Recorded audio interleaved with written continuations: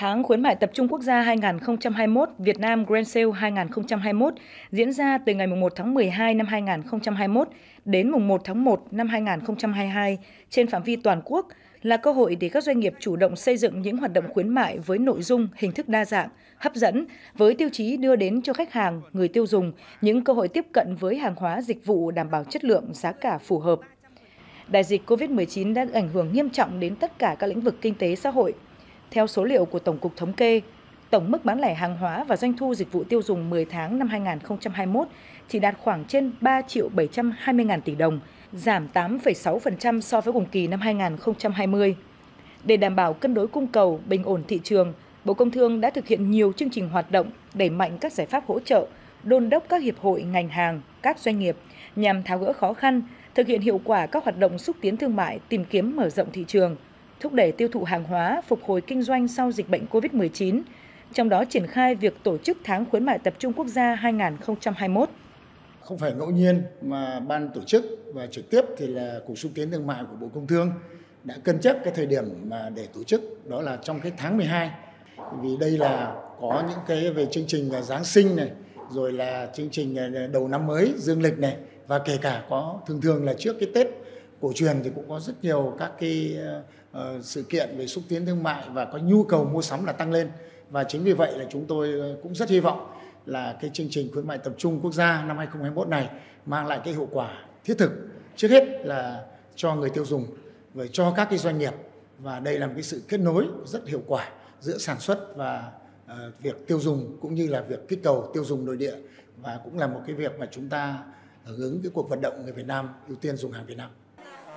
Hưởng ứng tháng khuyến mại tập trung 2021, các cơ quan, sở công thương và doanh nghiệp tại các địa phương cũng đã phối hợp triển khai các hoạt động khuyến mại kết hợp với việc tổ chức các hội trợ trưng bày, giới thiệu sản phẩm của địa phương để thực hiện kết nối giữa sản xuất và tiêu thụ, thúc đẩy tiêu dùng nội địa, đẩy mạnh hoạt động sản xuất của doanh nghiệp cũng như quyền lợi của người tiêu dùng, góp phần phát triển thị trường trong nước, phục hồi phát triển kinh tế đất nước. Ờ, chúng tôi cũng đã triển khai đầy đủ tới các cái doanh nghiệp ở trên địa bàn thành phố Hà Nội, kể cả từ doanh nghiệp sản xuất đến doanh nghiệp phân phối đã chuẩn bị một cái lượng hàng đầy đủ, đăng ký các cái chương trình khuyến mại theo quy định của chính phủ để ờ, giúp cho người tiêu dùng là có một cái nhu cầu mua sắm và tiếp cận được nhiều những cái sản phẩm tốt. Thứ hai là yêu cầu các cái sản phẩm hàng hóa là phải đáp ứng đầy đủ về chất lượng, về tiêu chuẩn uh, giá khuyến mại thì phải đáp ứng theo đúng cái quy định ờ, của nhà nước và tổ chức các cái điểm vàng khuyến mại ờ, trên 50 cái hệ thống phân phối của địa bàn thành phố Hà Nội để cho người dân có hai cái ngày đại tiệc mua sắm. Với những chương trình như này nữa là sẽ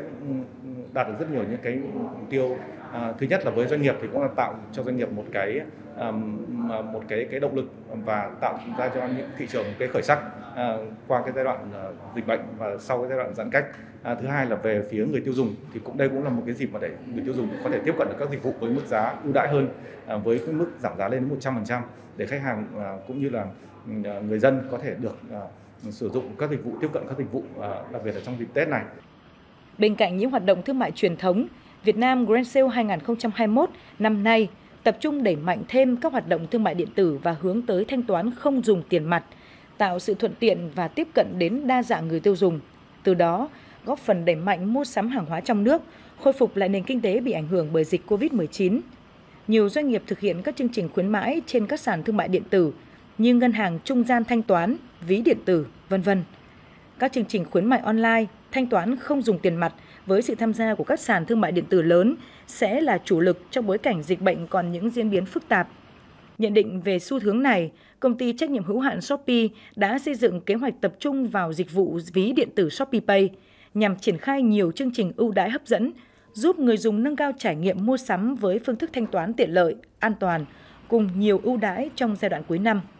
Chúng tôi ghi nhận rằng uh, trong những dịp mua sắm thì người dùng đang ngày càng có xu hướng uh, tham gia những hoạt động thanh toán không dùng tiền mặt. Và chính vì thế mà ví Shopee Pay của chúng tôi cũng đưa ra rất nhiều những chương trình ưu đãi uh, giảm giá hoặc là những chương trình uh, hỗ trợ cho người dùng có thể có những trải nghiệm tốt hơn uh, trong dịp mua sắm cuối năm này. Ừ. Chương trình tháng khuyến mại tập trung quốc gia 2021 nhằm tiếp tục thực hiện linh hoạt, hiệu quả mục tiêu kép của chính phủ. Với những thành công từ các chương trình trước đó cùng với sự đồng hành mạnh mẽ của các cộng đồng doanh nghiệp Việt Nam Grand Sale 2021 tiếp tục là tiền đề để thực hiện cho các năm tiếp theo, đồng thời củng cố thêm cơ sở thực tiễn và lý luận để tổng hợp, nghiên cứu, đề xuất với cơ quan chức năng có thẩm quyền ban hành các chính sách hiệu quả hơn nữa, hỗ trợ cho doanh nghiệp tham gia chương trình khuyến mại tập trung quốc gia trong thời gian tới.